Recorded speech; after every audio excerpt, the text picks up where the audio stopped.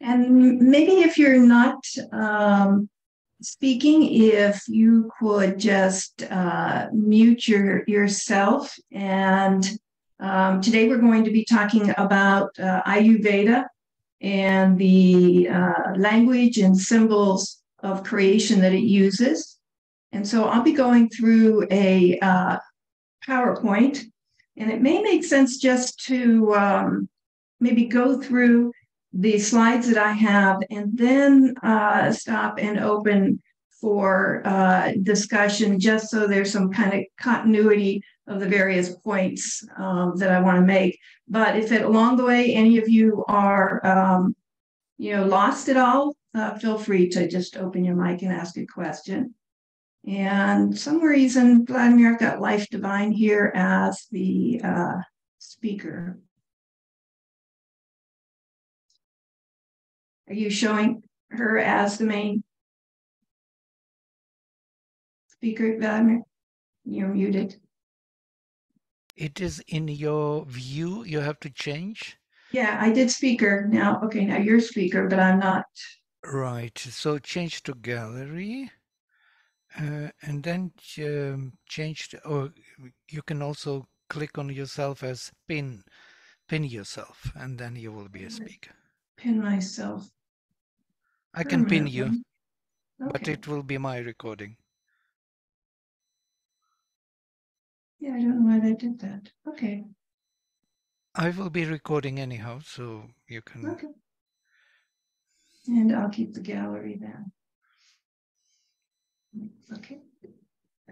Okay, so um, let me just uh, open up and share the uh, PowerPoint that we're going to go through and introduce the, the topic for today.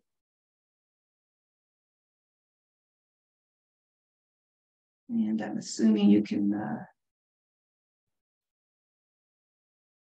see this. Okay, perfect. So uh, today, what, I'd like to do is to uh, take a look at Ayurveda. Uh, many of you have probably heard a little bit about Ayurveda and even be familiar with it.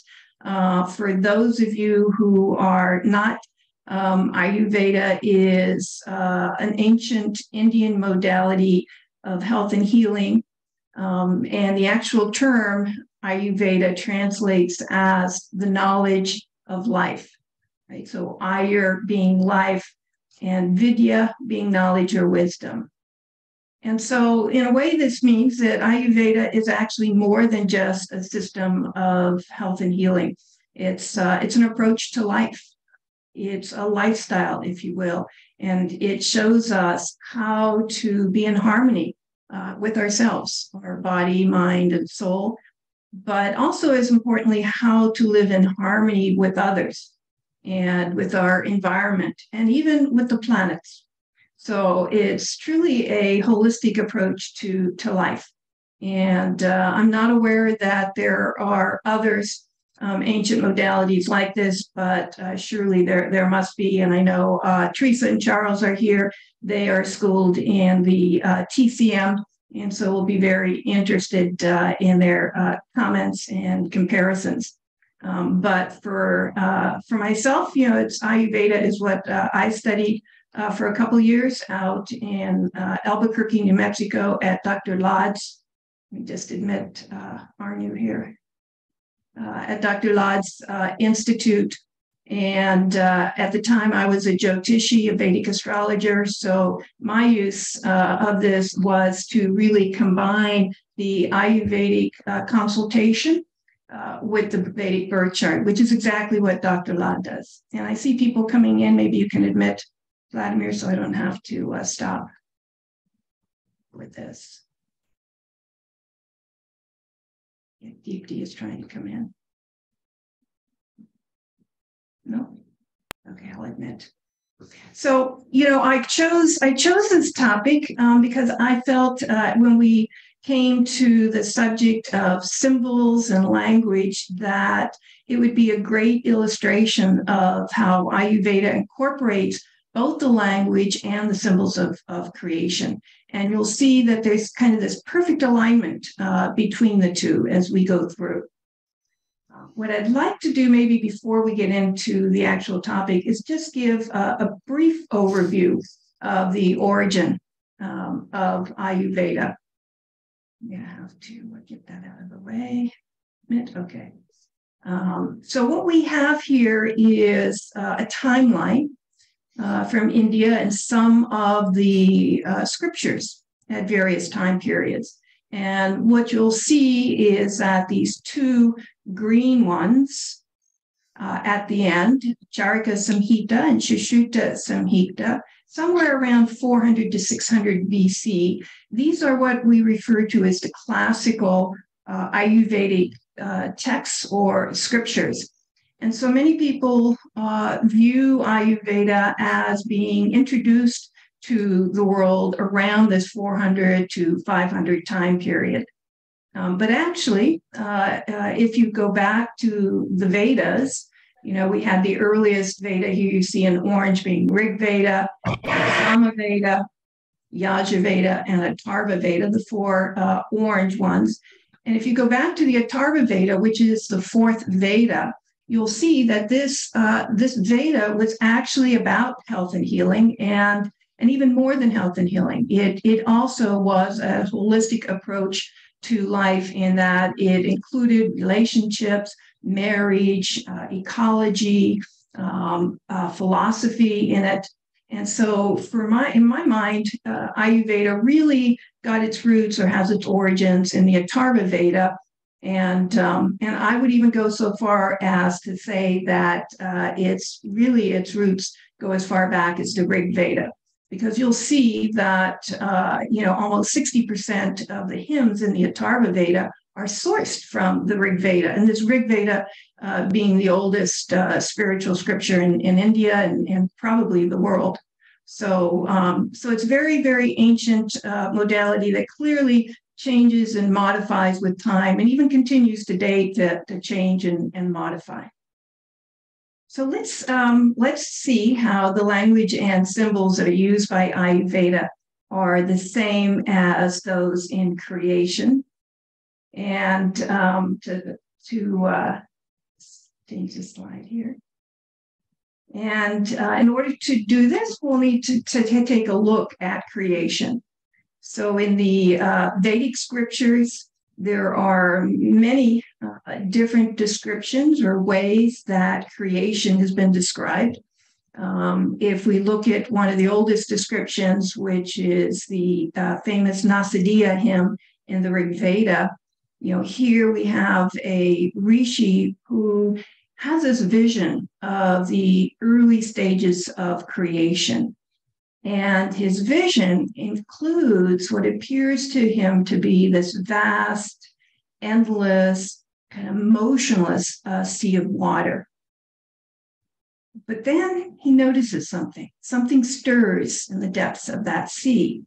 And the Rishi perceives a subtle urge or uh, a desire, a vague desire that actually created the ripple in the waters. And with that ripple, the process of creation begins. Um, I think Vladimir mentioned a little bit uh, last uh, last time that uh, this this urge or desire that we see in almost uh, all the ancient uh, Indian uh, stories around creation was really the desire for that one that one who was motionless, right, in that vast sea, to, to know and to experience all his forms, all his infinite personalities. And for that reason, uh, that desire creates a ripple, and we have the beginning of creation. Now, Sri Aurobindo, in his commentary on the Isha Upanishad, refers to another, yet a very similar image of creation and this will look familiar to everyone. Um, and here, you know, we've got the uh, Puranic image of Vishnu as the eternal one. And uh, although he's not asleep here, uh, originally he is asleep on the waveless waters of creation here. And then we see the snake Ananta and all his many, many coils that makes up the bed for Vishnu. And actually, Ananta means the infinite. So it's only when Vishnu awakens, as he opens his eyes, that the snake Ananta stirs and the first ever ripple is created on the surface of the waters, which begins the evolution of matter. And Sri Aurobindo refers to the waveless waters of creation here in the Puranic uh, image of Vishnu as the causal ocean. And uh, he describes it, and actually it was a rishi. He is commenting uh, in the Ishi, Isha Upanishad, a rishi's uh, vision or experience, who uh, who describes what he is seeing as uh, a matter, a substance that he says is so refined, um, it's so simple, it's so undeveloped. But in this causal ocean, what appears to be an ocean, that it's pregnant with the entire uh, material evolution. So it becomes this kind of the seed state or causal state of matter. And obviously, we can notice the symbolism between uh, these uh, two stories of creation. You know, they both uh, involve this kind of vast, um, immobile, watery like substance, perceived by, by both rishis, the rishis in the Rig Veda as well as in the Isha Upanishad. Isha Upanishad. And uh, they, they give this, uh, the, the symbol to this watery like substance as this endless calm sea right so we have this symbol now that is representing what the rishis ultimately say is um, a bliss filled substance uh, no other distinguishing sensation that this ocean is is pure bliss or pure love if you will um, and, and so we see this in both that creation started out of this substance that's so refined, that's so vast, um, that, that is composed of pure bliss, pure ananda, or pure love. And the other common symbol uh, between the two stories is a ripple, right? We see this ripple in the waters, it's motionless. And this ripple is a symbol for the stirring of the faint urge or desire that we spoke of. You know, in the Puranic image of, of Vishnu, as he opens his eyes, Snake Ananta stirs and it creates this ripple in the vast ocean. And although Snake ananta symbolizes uh, many things, right? One of the things in general that uh, that a snake uh, symbolizes is desire.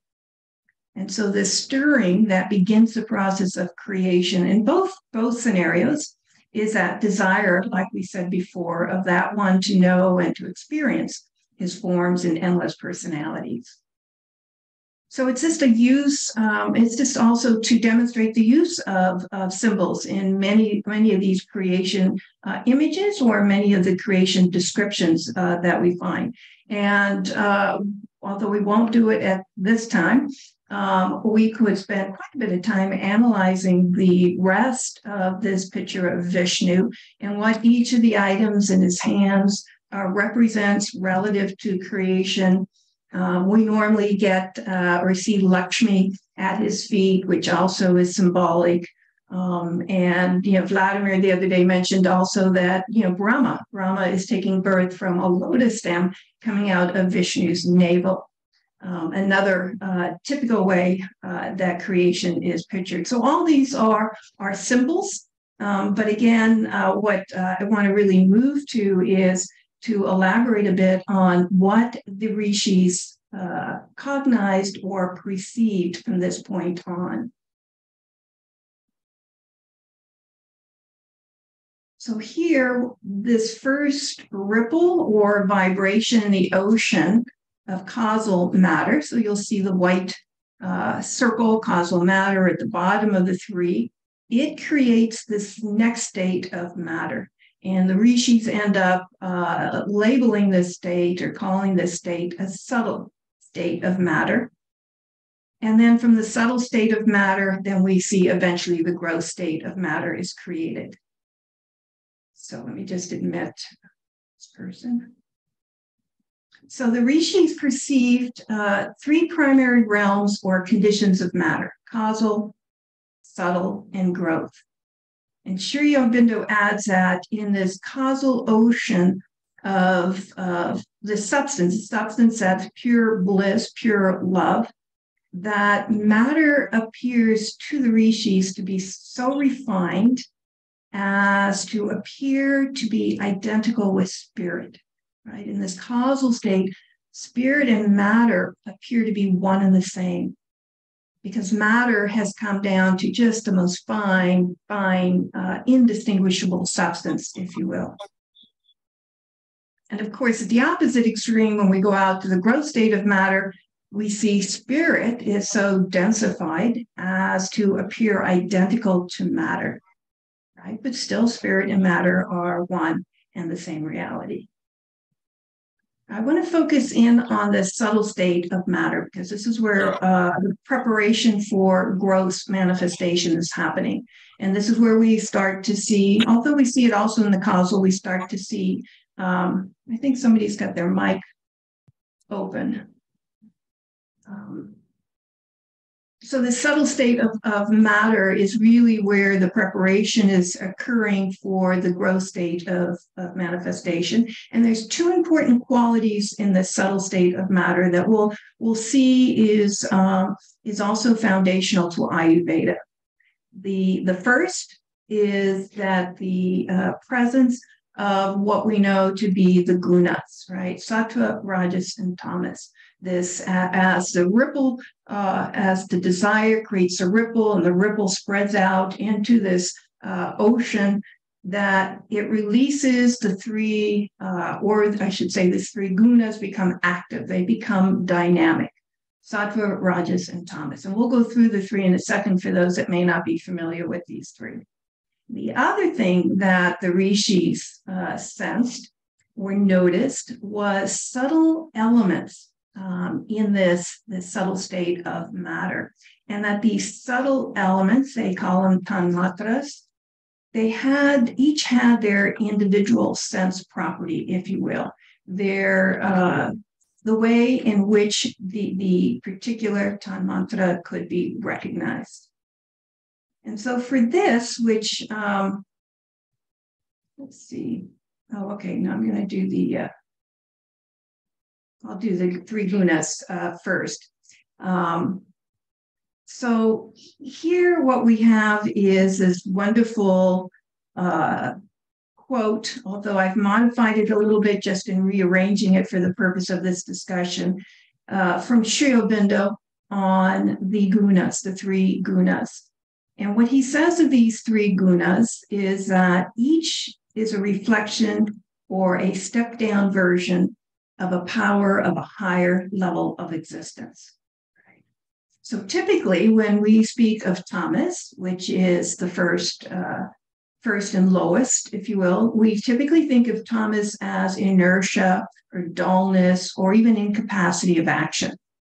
But what Sri Aurobindo says is that there is, um, on a higher existence, on a more spiritual existence, Tamas is really this divine calm and perfect power holding in itself all its capacity and capable of controlling and subjecting to the law of calm even the most stupendous and enormous activity. Right? So this is a little different than what we typically would define Tamas as. Uh, but what Sri Aurobindo is alerting us to here is that, yes, as these gunas kind of play out in manifestation, their lower qualities come out. But at a higher level, a more spiritual uh, level, we actually have kind of divine qualities around each of them.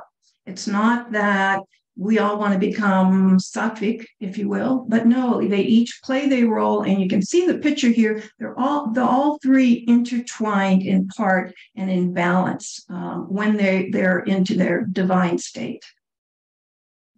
And the second one is rajas. Now, rajas again, we typically will say, well, it's desire, it's passion, it's ambition, um, its endeavor. But again, Sri Aurobindo says on a higher existence, it is a self affecting, initiating, sheer will of the spirit and a perfect power capable of an infinite, steady, and blissful action. Right? So the nature of that action, instead of desire and striving passion, now becomes steady and blissful action. And the third one, sattva, we normally think of it well it's you know it's harmony it's balance it's you know on on in many ways it's considered to be kind of a what Sri says a modified mental light. But even on a higher existence Sri says it is the self-existent light of the soul. And its perfect power of being which illumines and unifies the divine quietude right? Divine quietude being tamas and the divine will of action, divine will of action being Rajas.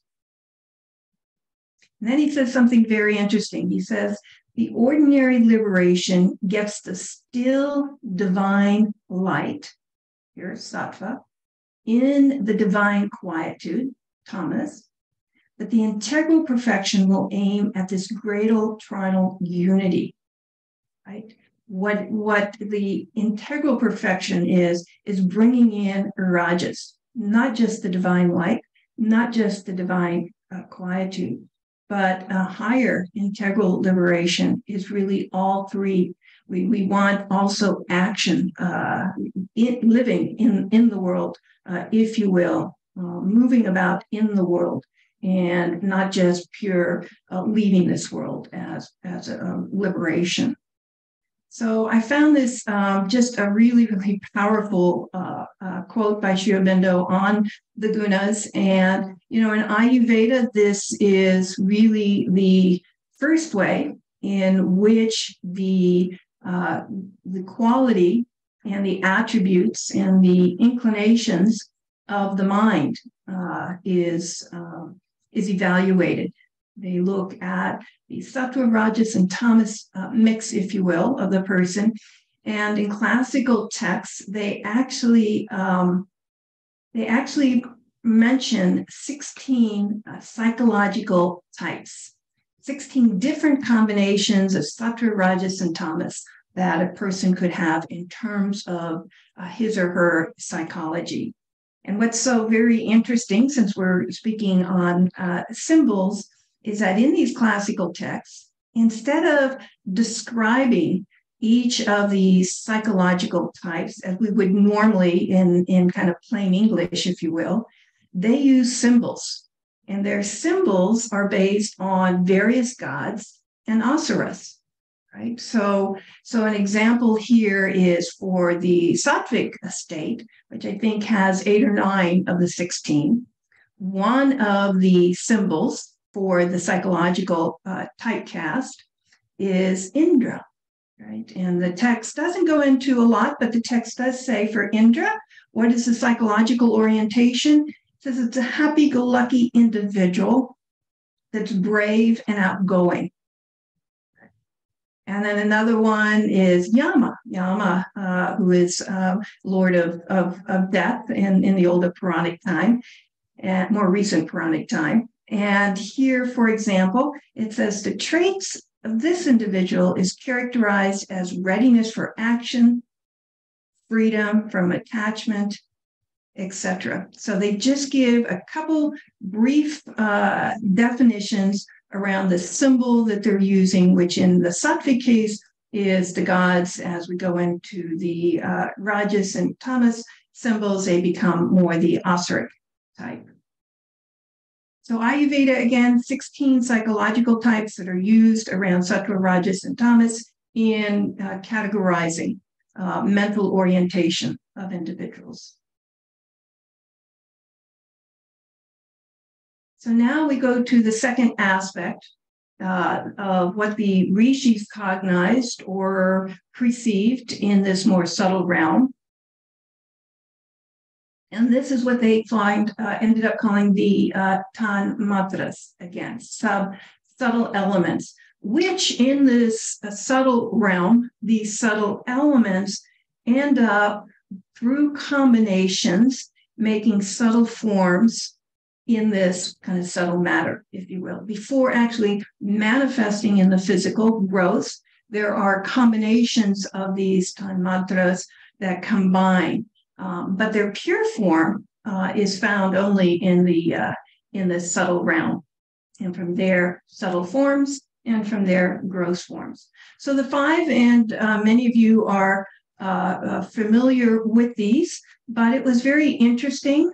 Just admit here um, but it's very uh, interesting how the rishis describe these because they end up using what Sri Aurobindo calls conventional symbols as they come across this substance, different substances in the subtle realm. They look around, which is what conventional uh, symbols are. They look around in the outer world, in their outer environment, and they try to find something that has a similar substance, a similar, a in a gross form, but similar attributes. Right? And so as we go through these five, I'm, going to do a little bit of quoting from Sri Aurobindo because it's, again, another just very amazing uh, way that the rishis uh, discover and perceive these.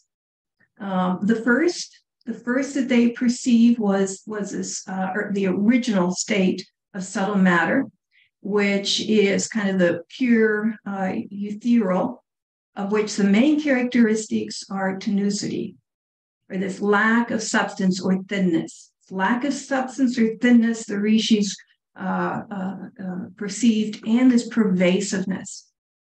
And they noticed that there was one sensible property, one property by which they could sense the existence, or we could uh, sense the existence of, of uh, this particular element, which they called akasha eventually, and, and its sound, shabda. So, sound is this first evolved property of material substance. Right? And, and we know that, you know, in the Bible, in the beginning was the word, right? The word is sound. So it so sound perceives form and sound also has the power to create and destroy it. But the way they describe this is, and I'm just going to quote this, Sri Aurobindo's uh, commentary is looking around them, the rishis looking around them in the physical universe for a substance with these characteristics, right? The characteristics of being lacking substance or thinness and pervasiveness. They found it in the sky. They looked up and they saw the sky Vyom, and they called it Vyom or uh, later Akasha. Akasha.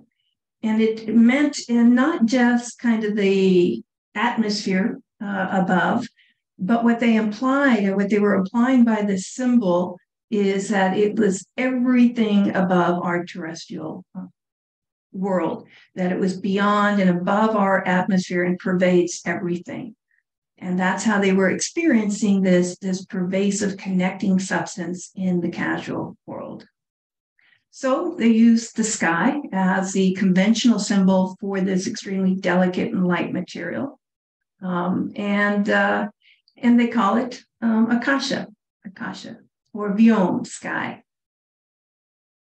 And then the second element, the next element that evolved from Akasha and was moving within it was sort of this pure aerial or gaseous uh, condition, you know, matter. They they word these uh, as conditions of matter, and and this was like lacking any substance or solidity.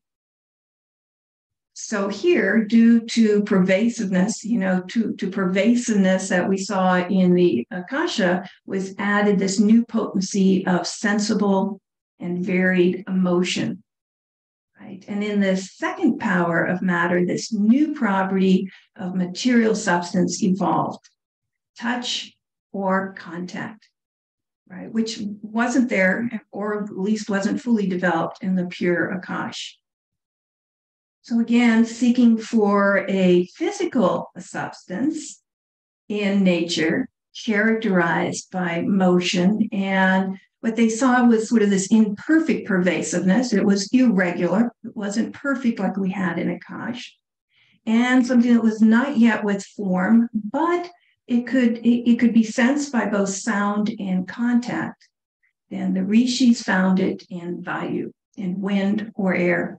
Therefore, vayu became the symbol, the conventional symbol for the second uh, condition of matter. And from there, fire, evolving out of this pure gaseous state and moving in it is this this uh, they call it kind of this luminous um, energy, this luminous energy that's produced by heat. And in this stage, right, this pervasiveness that they saw in Akasha becomes still less subtle than it was. And this motion that they they they uh, sensed in the wind and Vayu is no longer the major characteristic, but now energy, energy, um, and especially uh, Sri Aurobindo says formulative energy attains its full development and formation um, and its destruction at, at this stage. And so now, as we look at fire or Agni, um, in addition to the sound and the contact, matter evolved a third property from fire, and that was form, right? Which couldn't be developed in pure air, right? Because it wasn't dense enough. Um, and, and obviously, uh, it was also kind of too volatile to form uh, an actual uh, structure or form. And so, this power of matter um, that had light and heat uh, within it. Um, the again, the rishis looked around and they saw that here in their terrestrial environment, that it had all the characteristics or many of the characteristics of fire. Because why? Fire, you can hear fire, there's crackling of fire, you can contact fire, you can touch the heat um, and it has form. You can see fire. So fire became the third element. And then they went on with water, again, water being now this liquid state. And really, it's kind of the first, um, it's kind of the first principle in which this, this fluid could actually produce life, uh, if you will. Um, you know, we read in many places, I think even in the Rig Veda, all life is gathered out of the waters. And so life depends on this fluid principle uh, for its substance. And out of water, we had uh, the rishis sense a fourth property, which was taste. So uh, water has, has a very uh, fluid, um, half volatile, half fixed, but perceptible by sound, contact, water, and taste. So the rishis gave it the symbolic name of water to this fourth. And finally, we get to the, the state, the solid state, which was the last to progress out of this, uh, this subtle uh, realm. And um, it has the most uh, extreme fixity. Fixity actually dominates. And as we know, it's really uh, the substratum of all solid forms and bodies. And the last necessity for the development of life right? Because it provides life now with a fixed form or body in which it can, can work itself out, in which it can develop into an organism. And so this last sense of property of matter involved, this last sense that, that evolved was odor since earth is typically solid substance you know as they looked around and what what what has this property of sound contact form and taste? It was earth. And so the rishis gave uh, the conventional symbol earth to this fifth. And again these are not these are these are symbols of conditions of matter that are in the subtle realm. Now to this this is actually one of the major building blocks in ayurveda and to these subtle properties that the rishis uh, perceived or cognized, Ayurveda adds another uh, 18 or 20 subtle qualities for these uh, five tan mantras. And now we get to the last, uh, which is the gross uh, realm or gross uh, condition of matter. And here, obviously, we're familiar with the five gross elements that the rishis uh, just use as conventional symbols the air, ether, fire, water, and earth. And what Ayurveda does, it, it is certainly foundational to Ayurveda, but they go a step further and they they group these five elements into um, kind of three basic functional uh, principles, which they call Vata, Pitta, and Kapha. So if you look at the picture, you'll see the top Vata. Vata is a combination of ether and air. Pitta, fire and water, although mostly fire. And Kapha, water and earth, although mostly earth.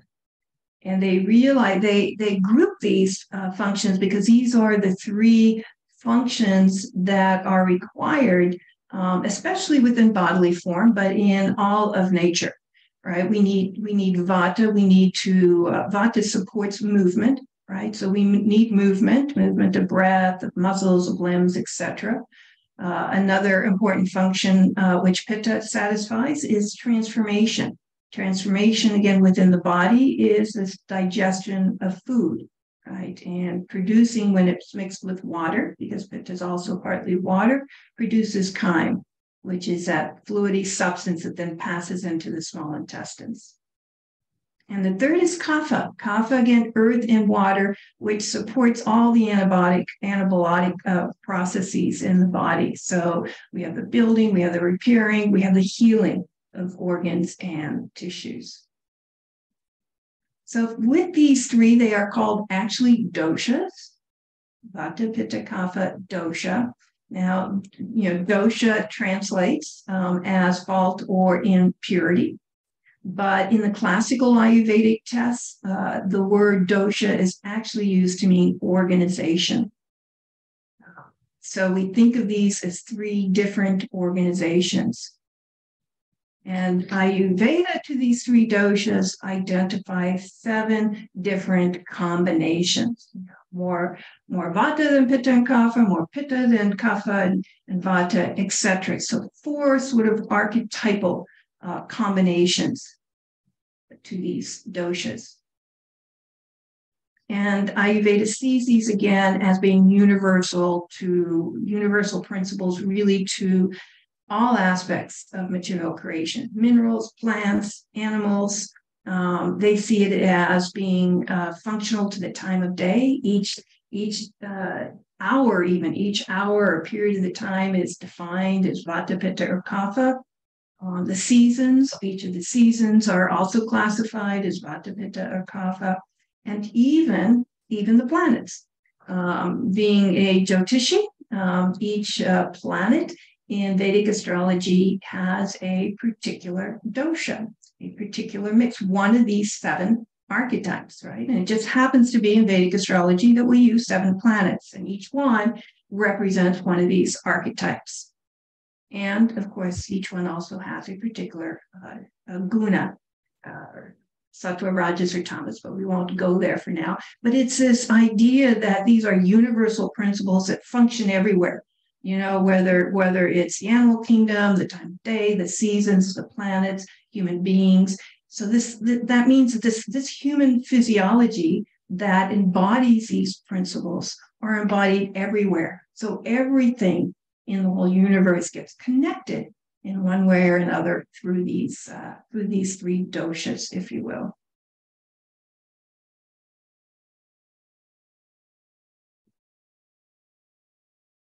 So just to, to summarize uh, a bit, right, back to these three states, we have the causal matter, which we said is bliss-filled state, and it really represents a soul or spirit, which Ayurveda acknowledges. Um, it's the subtle matter, which comes out of the causal, uh, which includes the three gunas, sattva, rajas, and tamas, which Ayurveda adds uh, 16 various combinations. It's the five tan mantras and their subtle qualities, which Ayurveda gives 20 qualities to. And then on the gross level, it recognizes five gross elements, but it groups them into three functional categories. And of those three functional categories, which is composed of Vata, Pitta, and Kapha, there are seven uh, main uh, archetypes, if you will. So I think one of the things that this picture shows, and um, why I like it so much, is that it really, uh, really illustrates how everything, all manifestation, ultimately came from the same source, right? This causal state, this causal realm of substance that was perceived by the rishis as being pure blissful existence or pure ananda, pure love. So everything in the manifest universe is birthed out of this substance. And this is why Ayurveda also maintains that everyone, everyone, there is this, this oneness that supports the universe, this oneness that creates this um, substance, this causal substance that creates the oneness, and that oneness supports kind of the unity in the world. And uh, one of the um, one of the quotes in the uh, earlier Ayurvedic texts uh, what is there in what the, what is there in the external cosmos is existing within this body and vice versa. Both are one and the same when one realizes thyself. So at the root with the foundation we have this this uh, notion or this belief um, that we are all one and the same uh, in the universe. We, there is a oneness or unity amongst all because of these uh, creation principles, if you will. And then we have Alan Watts saying something similar in 1960. The first quote was back from 500 BC when we have uh, many of the uh, classical Ayurvedic texts being codified. But the, the next one, which wasn't too long ago, um, Alan Watts in 1960, you are the universe experiencing itself. Right, the same notion. And then finally, and one of my favorite, Eckhart Tolle in 1980, you are not in the universe, you are the universe, an intrinsic part of it. Ultimately, you are not a person, but a focal point where the universe is becoming conscious of itself. What an amazing miracle. So as we awaken, the universe awakens. Right? So all this again uh, is a you know part of the spiritual and philosophical foundation of Ayurveda. So let me just uh, go to now a couple summary uh, slides that will uh, hopefully pull all this together. Um, if we look now at the building blocks for Ayurveda, which are taken from the language and symbols for creation. What we said is at the outermost realm, at the gross realm, there's five gross elements and their functional combinations, Vata, Pitta, and Kapha. And out of Vata and Pitta and Kapha, there's seven different combinations, if you will, seven doshic types that you see at the bottom there. To that, in the subtle realm, we have these tan mantras, and uh, they're behind the gross elements and doshas. And there's 20 subtle elements that Ayurveda uses. These are actually more critical than the doshas, believe it or not, because these are supporting, these are, if you will, forming in the subtle realm the doshas that are going to manifest physically. And then lastly, we mentioned the three gunas, sattva, rajas, and tamas. And out of that, Ayurveda classifies 16 different combinations. So seven doshic combinations, 20 subtle elements, 16 psychological combinations of the three gunas. These are all the different permutations that combine in total to provide diversity, provide diversity within this oneness that we just saw in the universe. Yes? Ayurveda says we are all one. There is a oneness. We all come and are made of the same substance, but we are also each unique. And this uniqueness is, is uh, critical to Ayurveda, and its results in, again, the acknowledgement of the many different combinations of the seven doshic uh, combinations, the 20 subtle elements, and the 16 psychological typecasting can produce.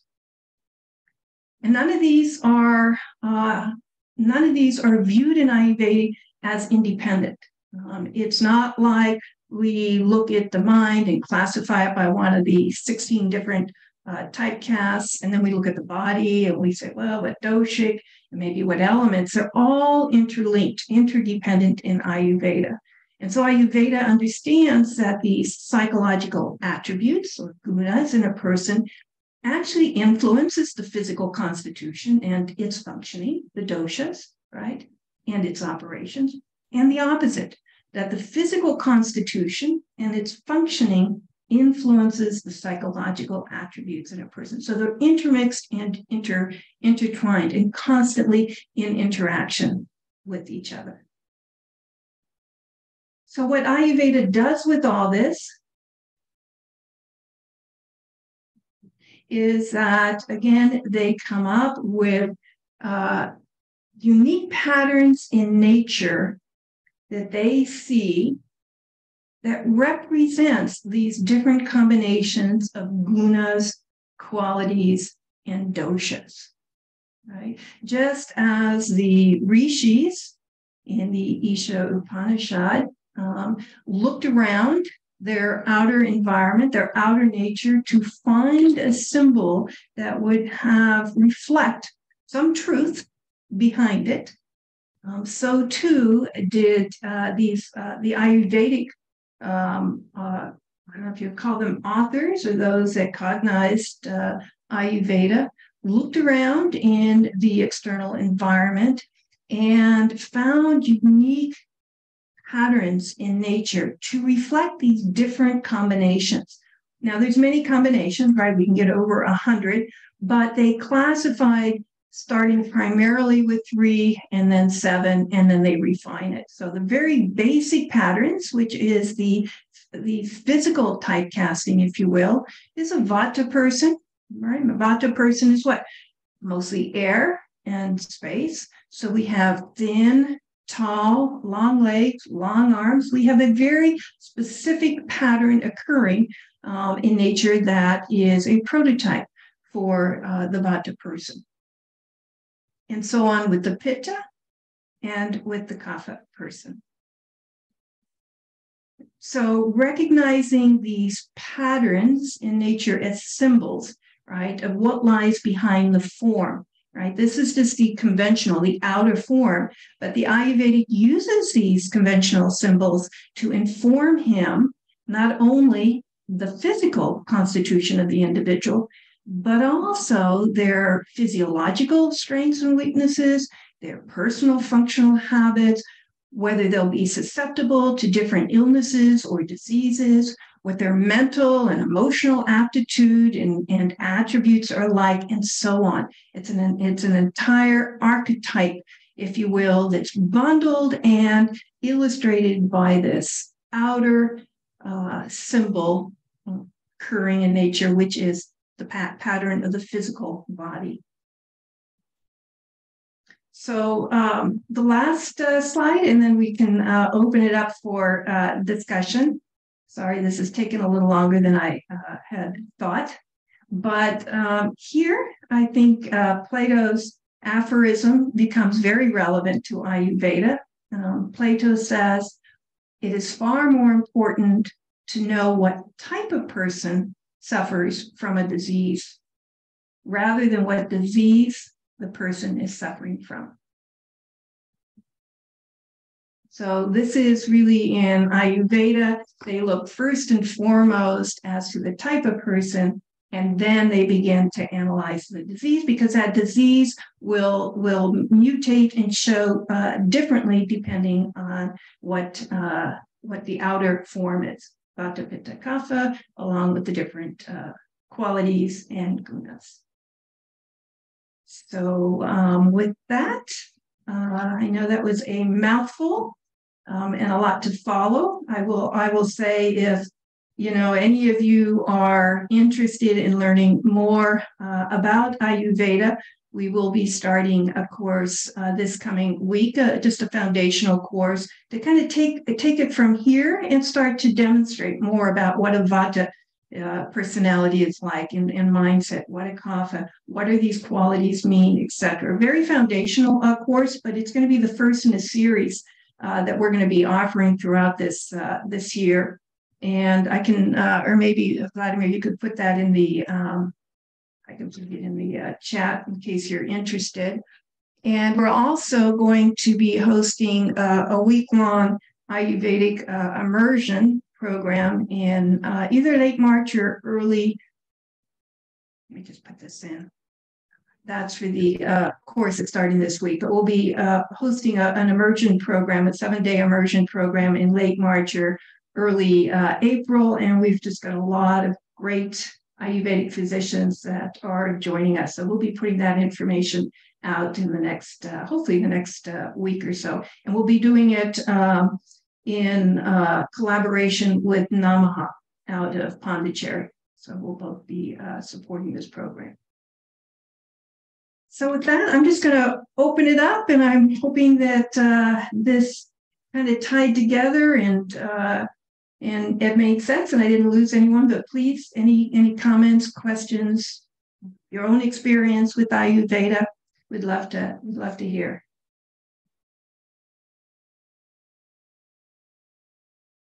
You can unmute yourself and speak. I made it possible, so please go ahead. First of all, Radhe, this was just beautiful. Thank you so much. It was just amazing, this presentation. I had one question. So, can this, I'm sure it, but I need your explanation. This can also be related to yin and yang, right? Ayurveda, the balance. Yin and yang is, is Chinese. Do we have, uh, do we have Teresa? I think, oh, Teresa and Charles. Um, let's turn to them and get their uh, thoughts or ideas on this. I mean, my my thing is yes, but I really I'm not. Let's find two people more skilled and familiar with that symbol. Well, the the the idea for for me anyway is that um, when we start seeing it from symbols, then our meaning is ascribed to the symbols. So we can take any symbols and ascribe our meaning to it, depending upon our perception or, or our, our, beliefs. So I know very little about um, Ayurvedic medicine, um, but however, there are some principles in it that are common to more the field of seeing it from sacred geometry per se. Like, um, for example, when you had the causal, the subtle, and the gross, right? um, then then then for me, what I was hearing was that the the yin and the yang of it would be the causal, and the gross gross would be um, how am I going with this? At anyway, the the subtle is this transitional phase, right? Going from subtle to gross, and it's the in the yin yang sim- symbol, where you have the black and the white meeting, that line at which they meet is called the Ling Shu, which means the cosmic hinge. And so, so in sacred geometry, where two opposites meet or two things that are different meets, that creates a transitional gradient feedback zone. So, so everything happens everything happens in the cosmic hinge, which is really interesting to me to because I'm translating my my projections on onto your question, but I think the the, the commonality in it is that you're looking at um, you're looking at subtle and you're looking at gross and or causal and you're looking at growth and then there is a transitional zone which is in there and that transitional zone and the yin yang or the Taijitu symbol is that black, which is called the cosmic hinge. And then that, that creates a dual or an opposite that allows there to be a feedback loop. So it's not just that I think that um, uh, it's only a one-way street between uh, subtle and and gross, right? It's a feedback loop, and that is and that is how consciousness moves through the field. Um, which interestingly enough, the field when I was listening to it is that um, that that that that that ocean right? And you have ripples on the ocean from desire. What I'm hearing in that is the is the field, is Kshetram, and the description of the field. So then then we can extrapolate any information from that particular model and put Ayurvedic onto it or or put uh, classical Chinese medicine, and we'll see commonalities that that are common common to the symbols, not necessarily common to the language. We the symbols become a, a codex, uh, a, a, a way to translate and to begin to see the unity of all things because they share a same fundamental structure, right? And um, right. so I kind of went off And on I that, think- that Yeah. that was just stream of consciousness. And uh, I think that that feedback loop that you're mentioning, and thank you so much uh, for that, Charles. That feedback loop that you're mentioning, that's exactly what we're what Ayurveda sees as one of the loops being between the gunas, sattva, rajas, and tamas, and the qualities, these 20 qualities that are more subtle, and eventually the gross body and the dosha. There's constantly one impacting the other. There's this constant interdependency and activity happening. And this is why, you know, uh, a mental mindset that is perhaps too tamasic or too rajasic, too fearful, too afraid, too anxious, that influences obviously the subtle qualities of the body, which ultimately can manifest in a physical disease. Right. So this is constantly this loop between these three are constantly influencing, and you change any one and you can influence the other. Um, so that's how I see in Ayurveda that this feedback loop that you were mentioning, uh, Thank you. Charles. Thank you. Mhm. Any other comments or questions? I had a question. Are the five Tan mantras also known as the Panch Mahabhutas? Uh, the five uh, gross elements are the Pancha Mahabhutas. So the outer uh, manifestation of these tan mantras that the rishis perceive ends up being the uh, uh, Mahabhutas. Bhutas, Oh, so Pancha the Maha- outer Mahabhutas. oh, so the outer manifestations are called Panch Mahabhuta, and the, the essence or the inner beings, inner elements are the five Tana mantras. Thank you so much. Mm, Tan The matras. five kind of uh, conditions. Yeah. Yeah. Thank you so much. Radhe, Yes. can you hear me? Yes.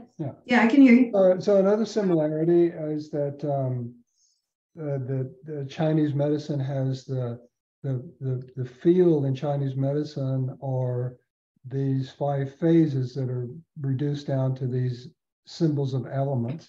So we have the same five phases, and then um, also in um, and and the geometries, uh, the Platonic solids were named after Plato, and Plato had ascribed um, the complete breakdown of the creation to these five geometric forms that are called the Platonic solids. And he ascribed different elements to the solids. So we're back into this, the five, uh, you know, symbology, and we're also into the geometry that unifies these two, these various schools of thought. But when you go to the geometries, then you can use that as a codex to start to decipher some of these other uh, similarities because consciousness is one.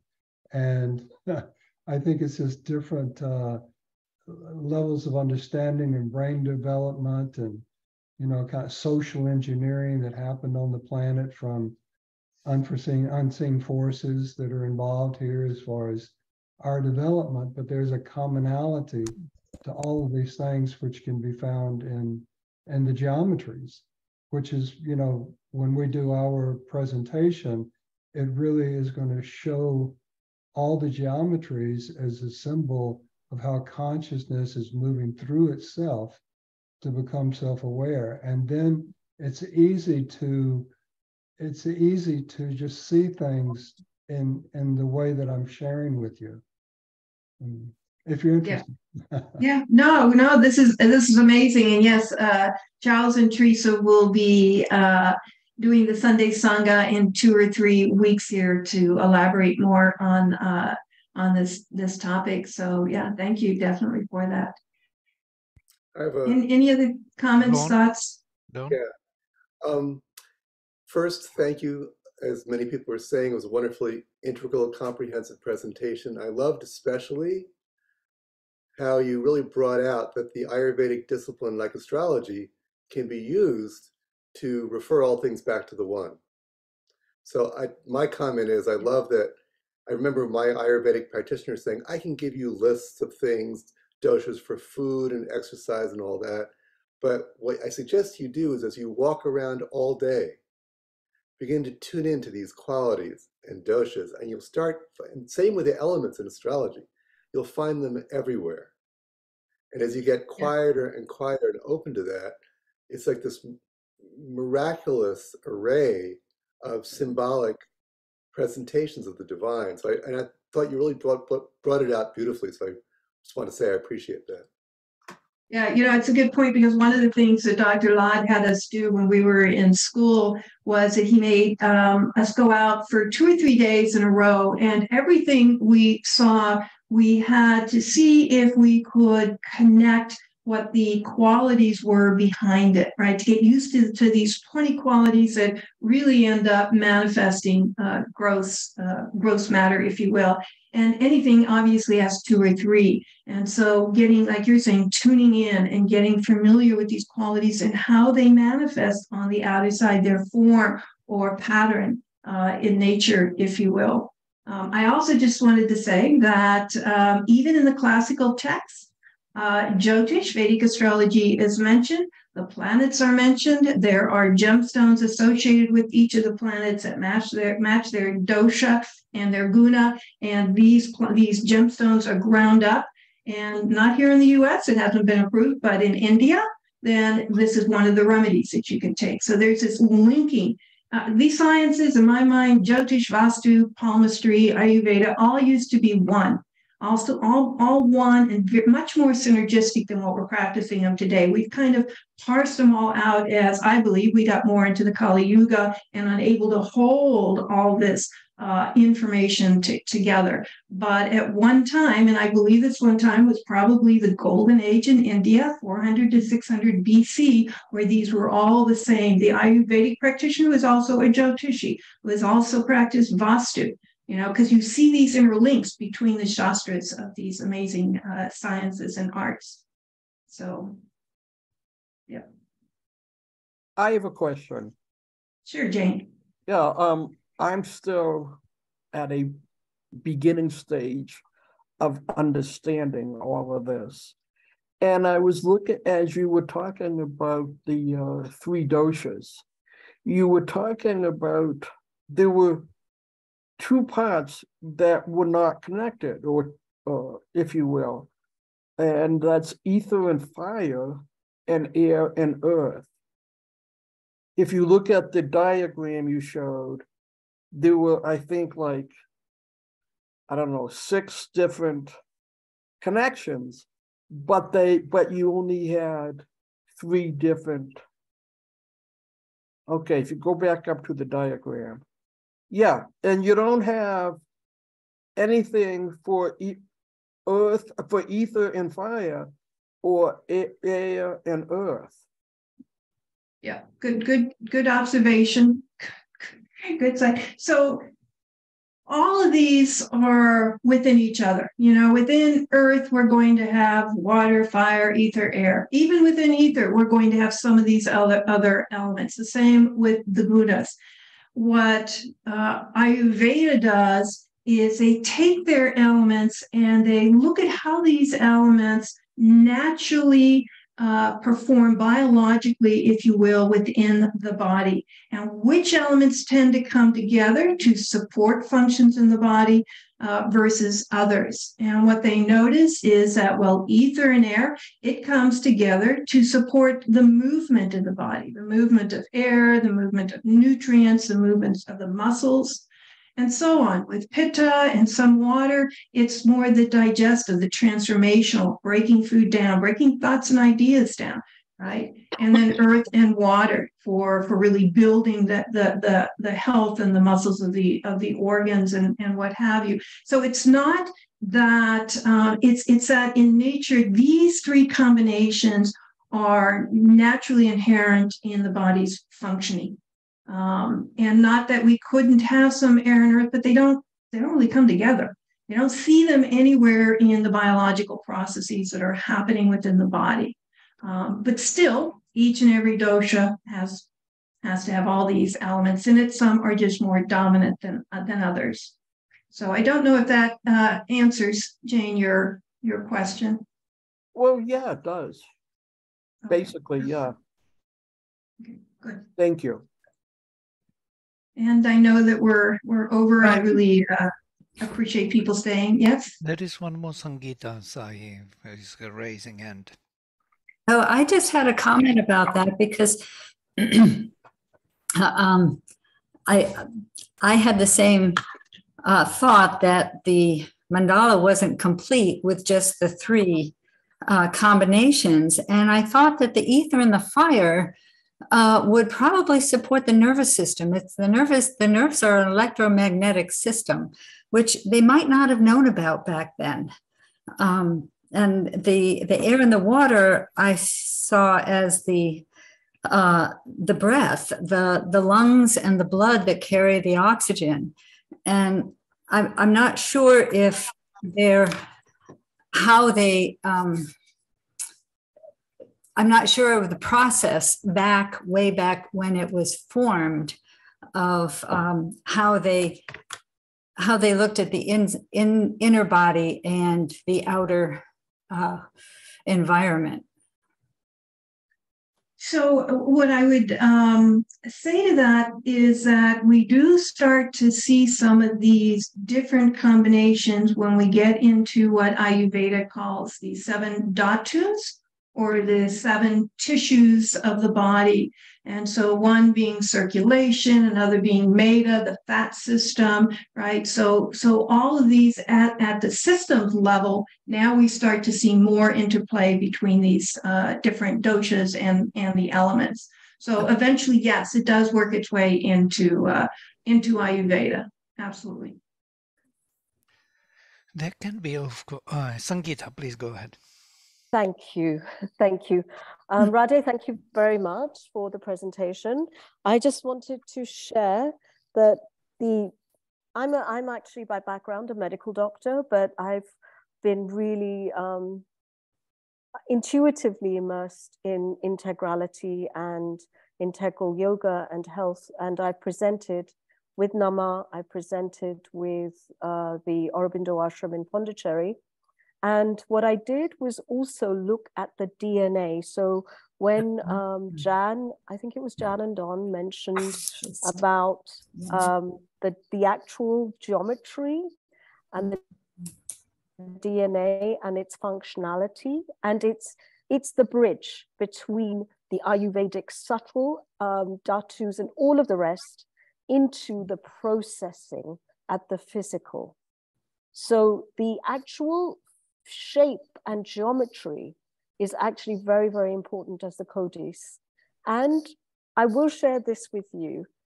I'm we haven't proved it yet in terms of because I've worked with quantum physicists and biophysicists where we actually had technical equipment where we could verify and look at the meridian system at the and the chakras inside a, a body and see the changes that occur when different different behaviors are expressed.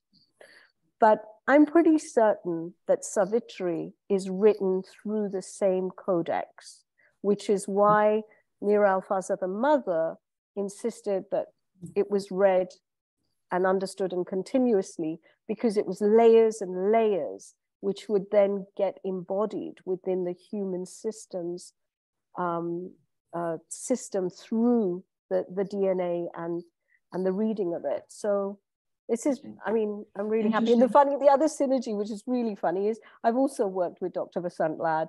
Yeah. And so anyway, thank you. Yeah, well, and I should I should just mention just a little plug here that um, at our uh, Integral Yoga Retreat this summer, which is on site uh, in Greenville at the Marriott Greenville, uh, Dr. Lad will be in in person a guest uh, speaker along with obviously Shraddhalu and Alok Pandey and uh, Vladimir, and we also have another um, guest speaker, which is uh, Andrew Math- Matthew Andrews uh, from uh, the Boston Sri Aurobindo Center and someone we've hosted before. So we've got a really good lineup. And like I said, we've got uh, Dr. Lad just agreed yesterday to uh, to be a guest speaker. So all of you that want to get on a plane or get in a car and come, we hope you can make the four day. And I can even uh, put put the URL that talks uh, gives all this uh, detail. We haven't gotten the detailed agenda, but the the, the cost and the uh, location and the topic um, you can find on our website. So let me just put this. Radhe, we, will you be sharing this recording and your slides? Yeah, so I put early on um, in the in the chat box. I can put it uh, again. Is that all of these Sunday sanghas? They are kept in a Vimeo uh, collection. And so you can go back. Uh, I know Teresa was just asking this morning, and I just realized that I hadn't set one up. But this uh, Vimeo collection you see here will take you to the last two that uh, Vladimir did, uh, to this one because we just started this this theme a couple weeks ago. Um, Don will be doing one next week. We'll be speaking next week on uh, all life is is a symbol. And we have Sharon, uh, if I pronounce your name right, Sassaman, uh, who will be doing two back to, to back, and then Don and Jan.